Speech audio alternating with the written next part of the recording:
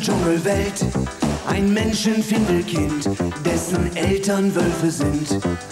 Er kennt sich aus, im Dschungel hier zu Haus. Ein frecher kleiner Mann, der mit Tieren sprechen kann. Doch am besten schaut ihr euch das selber an. Der Häuptling aller Wölfe, das war sein Papa. Und wenn's im Dschungel brenzlig wird, sind viele Freunde da. Freunde wie die Schlange K und wie Balu der Bär. Bösewicht Schirkan, der jagt vergeblich hinterher. Unser Held in der bunten Dschungelwelt, lädt euch alle herzlich ein, selber mit dabei zu sein auf der Abenteuerjagd. Ja, wer Abenteuer mag, ist willkommen hier bei uns im Dschungelbuch. Denn Abenteuer gibt es hier genug.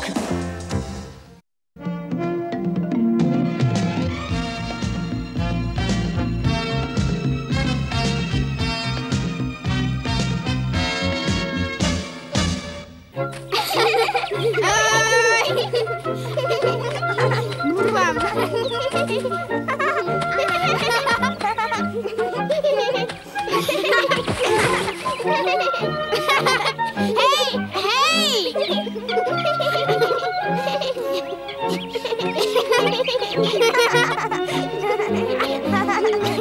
Hey, Mowgli, ich finde es zwar toll, dass du mit ihnen rumtobst, aber treib es bitte nicht zu arg. Ach, du hast überhaupt keinen Grund, dir Sorgen zu machen.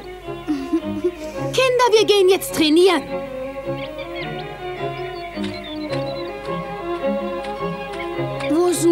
Sura? Sura bereitet mit den anderen eine Treibjagd vor.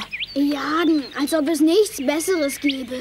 Du spinnst wohl. Du weißt doch, wie wichtig die Jägerei für uns alle ist. Das weiß ich doch. Aber trotzdem. Los, kommt.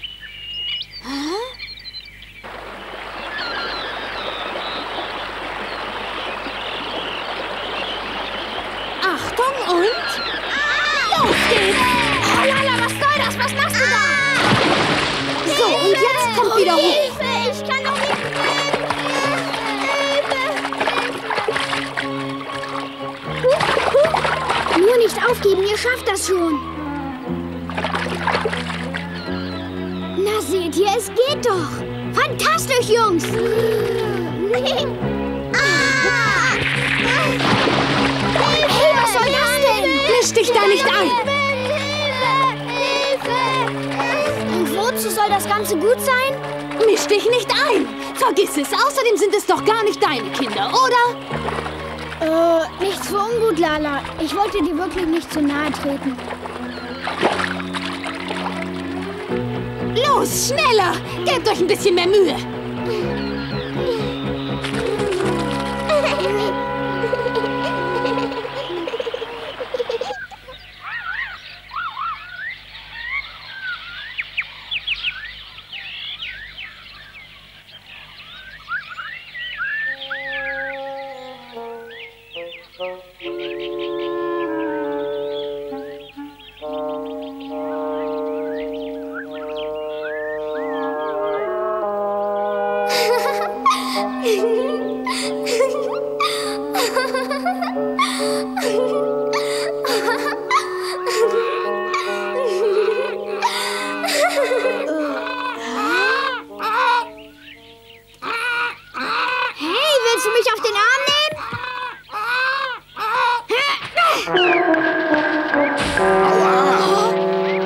Hey, was soll denn das wohl werden, wenn's fertig ist? Hm?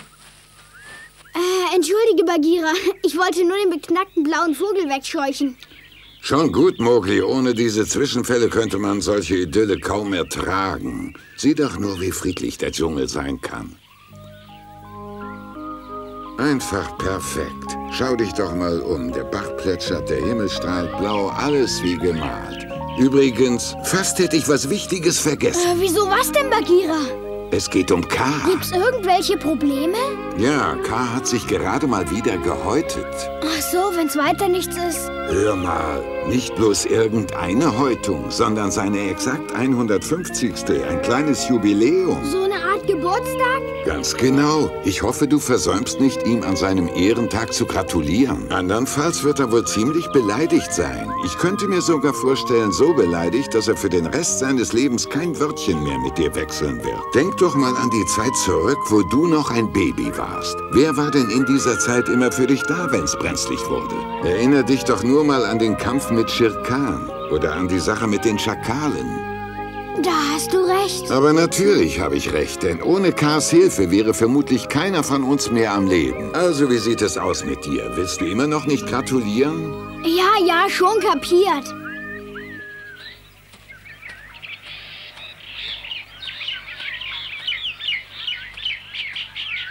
Hör mal zu, Mogli. Wenn du K begrüßt, fang am besten so an. Grüß dich, K. Du siehst geradezu umwerfend aus. Du glitzerst ja fast. Wieso denn glitzern? Ich hab K immer mehr für einen blasseren Typ gehalten. Ganz egal, sag es einfach. Weißt du, Schlangen sind immer ein bisschen durch den Wind, wenn sie sich neu gehäutet haben. Denn am Anfang sind sie immer unsicher, ob die neue Haut auch schön ist oder nicht. Ach so ist das. Ist ja irgendwie zu und zu komisch. 150 Häutungen und weit und breit kein Spiegel im Dschungel. Verkneif dir bloß das Lachen, wenn wir da sind. Werd mir Mühe geben. Aber ob's klappt, weiß ich nicht.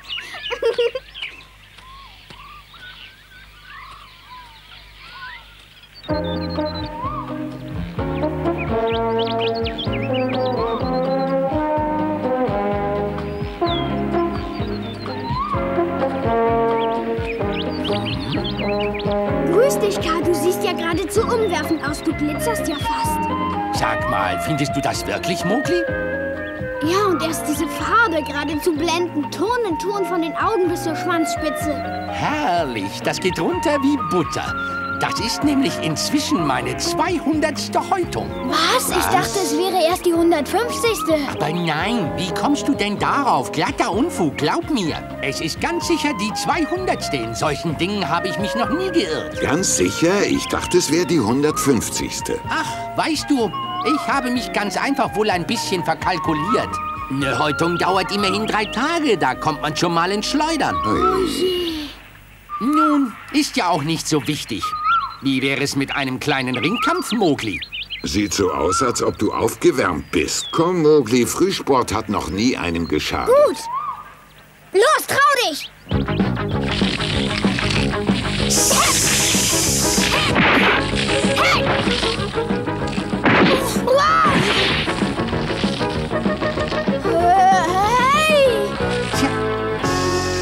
Sieg nach Punkten. K ist der Gewinner. Ich frage mich ja nur, wo du bloß so viel Kraft hast und das nach 200 Häutungen. Weißt du, das kapiere ich einfach nicht. Ist mir echt ein Rätsel.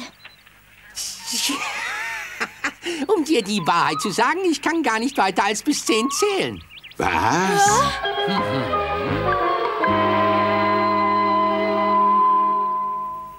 Hey,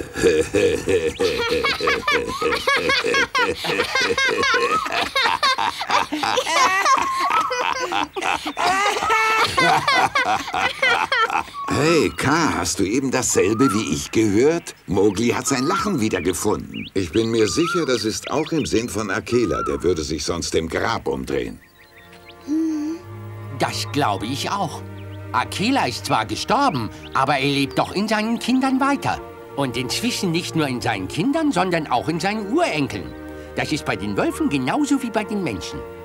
Weißt du, alle suchen sich ein Zuhause. Dann verheiraten sie sich und kriegen einen Stall voll Kinder. Menschen wie Wölfe leben ein langes Leben und irgendwann eines Tages sterben sie dann, aber eigentlich nicht wirklich, denn sie leben ja in ihren Nachkommen weiter. Kannst du mir ruhig glauben, ebenso, dass ich mich schon 200 Mal gehäutet habe. Jetzt fang doch nicht schon wieder damit an. Ich glaube dir, K. Danke.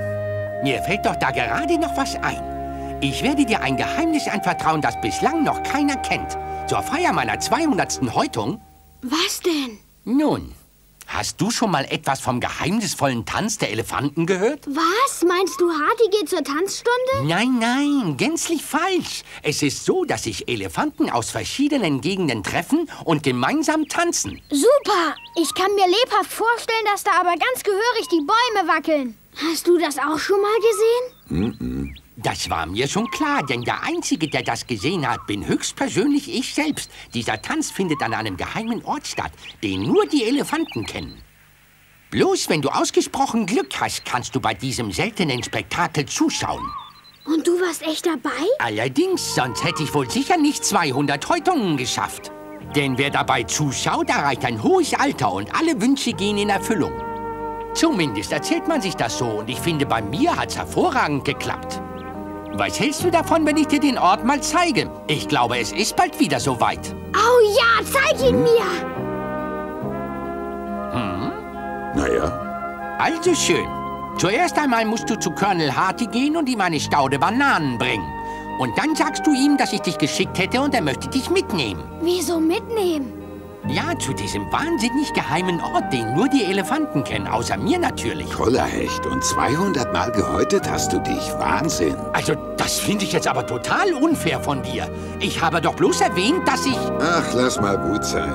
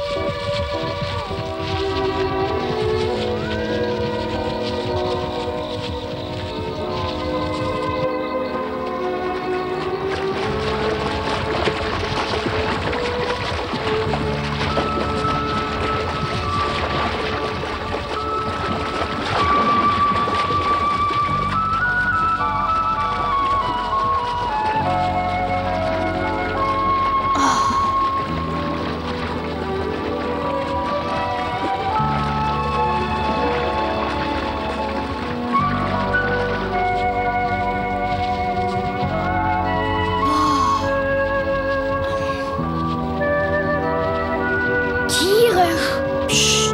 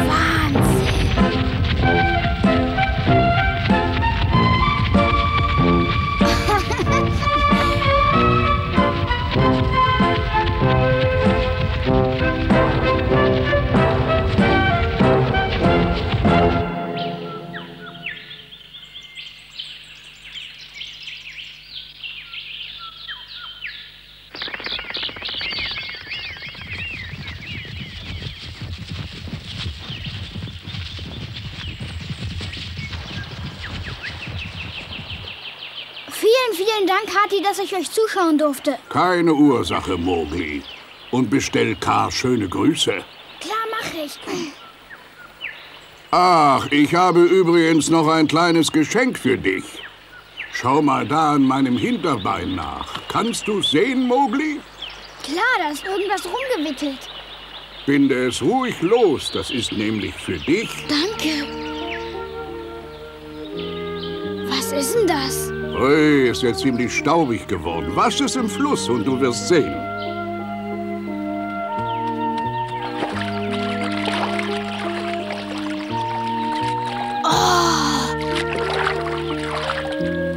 Ist das von Meshua? Es ist schon eine ganze Weile her, dass ich die Menschen in die große Stadt brachte. Das Mädchen, das ich auf meinem Rücken getragen habe, band mir das Tuch um das Bein. Du weißt, was das bedeutet? Sie ist ein sehr kluges Mädchen. Das stimmt. Und lieb ist sie außerdem, Hati. Ja, ja. Erinnere dich dran, was Akela zu dir gesagt hat. Bis dann, Mowgli.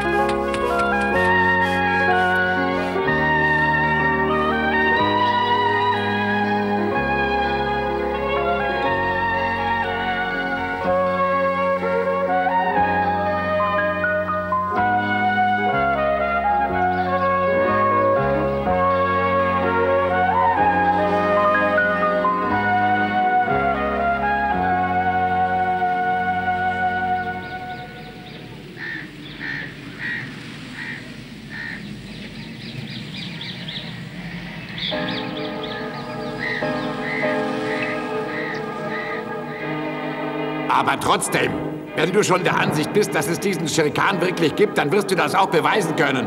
Bring ihn her. Mowgli, nein, nicht. Also schön, ich bring ihn dir. Was? Denn dann werden alle wissen, dass ich kein Lügner bin. Was ist denn eigentlich mit der Belohnung? Ach, was soll schon sein? Du kriegst sie, aber nur, wenn du uns den Tiger herbringst. Und ich rate dir, ihn zu bringen. Sonst reiße ich dir für deine Lügen die Zunge heraus. Das ist ein Versprechen. Verschwinde endlich, oder ich werde dir Beine machen. Oh, nicht schießen! Nimm sofort das Gewehr weg! Hau ab, Meshua! Schön, dann erwischt es euch eben beide. Komm, du schaffst das schon, Mowgli. Ich es so richtig?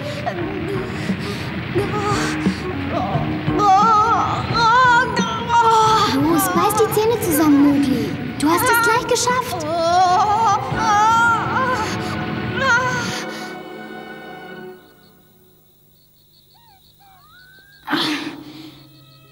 Du blutest ja. Ist dir was passiert? Hm, Ist alles nur halb so schlimm.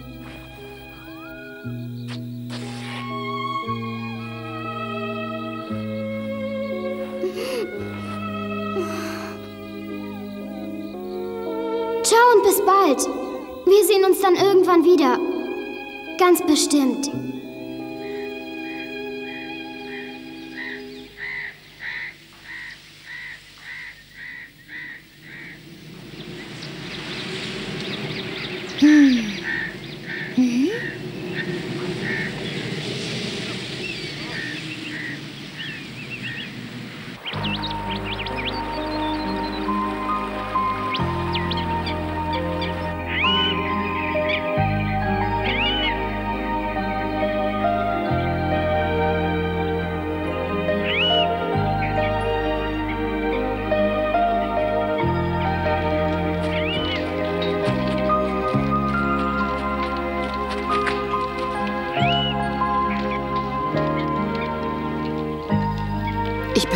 Fast, dass wir heute auch wieder vergeblich auf Mowgli warten. Wahrscheinlich. Das ist nun schon der dritte Tag. Ganz falsch. Es ist nämlich erst der dritte Tag. Aber Meshua, sieh's doch ein. Wir können hier doch nicht noch länger herumsitzen und auf Mowgli warten. Wir haben deinen Vater anständig beerdigt. Nun müssen wir zurück, denn wir haben nichts mehr zu essen. Mach dir keine Sorgen, Mama. Wir werden schon irgendwie satt werden von den Fischen, die uns Großvater angelt. Ganz bestimmt. Ja, ja, das kann ja sein, Meshua. Aber denk doch mal an die wilden und gefährlichen Tiere, die hier im Dschungel lauern. Davor habe ich überhaupt keine Angst. Das sind doch alles Mowglis Freunde. Die würden uns niemals etwas zuleide tun. Wer weiß, wer weiß. Ich habe eine Idee.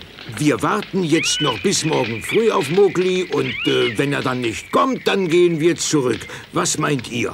Ich will aber auf gar keinen Fall zurück in die Stadt gehen. Und ich weiß genau, dass ihr das auch nicht wollt. Die Menschen dort waren böse und ausgesprochen unfreundlich zu uns. Und nachdem Vater gestorben war, ging das Spießrutenlaufen erst richtig los. Aber Meshua, in der Stadt lebt doch dein Onkel. Und es ist der einzige Ort auf der Welt, wo wir überhaupt Verwandte haben. Nein, das will ich nicht. Ich will nicht zurück. Ach, Meshua, selbst wenn Mowgli uns suchen würde, wie sollte er uns in diesem Riesendschungel denn finden? Mowgli wird ganz bestimmt hierher kommen. Wir haben uns nämlich versprochen, dass wir uns ganz gewiss bald wiedersehen werden. Ach, bitte lass uns doch auf ihn warten. Wenigstens ein bisschen. Nur noch zwei Tage. Gut, Meshua, da du so fest an ihn glaubst, bleiben wir. Mari? Na schön. Komm schleunigst hierher, Mowgli. Wir warten alle auf dich. Hier ist Meshua. Mama und Opa Boogie sind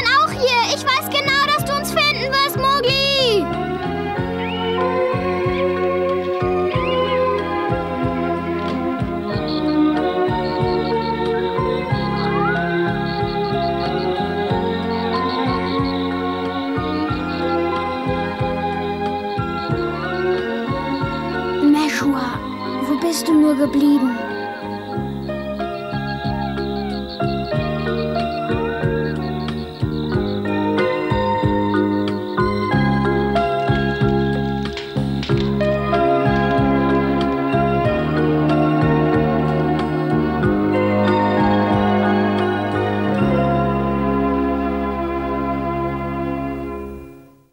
Das war euer Held in der bunten Dschungelwelt. Menschenfindelkind, dessen Eltern Wölfe sind. Er kennt sich aus, ist im Dschungel hier zu Haus. Ein frecher kleiner Mann, der mit Tieren sprechen kann. Doch am besten schaut ihr euch das selber an. Der Häuptling aller Wölfe, das war sein Papa. Und wenn's im Dschungel brenzlig wird, sind viele Freunde da. Freunde wie die Schlange K und wie Balu der Bär. Bösewicht Chirkan, der jagt vergeblich hinterher. Mowgli, unser Held in der bunten Dschungelwelt, lädt euch alle herzlich ein, selber mit dabei zu sein auf der Abenteuerjagd. Ja, wer Abenteuer mag, ist willkommen hier bei uns im Dschungelbuch. Denn Abenteuer gibt es hier genug lädt euch alle herzlich ein, selber mit dabei zu sein auf der Abenteuerjagd. Ja, wer Abenteuer mag, ist willkommen hier bei uns im Dschungelbuch. Denn Abenteuer gibt es hier genug.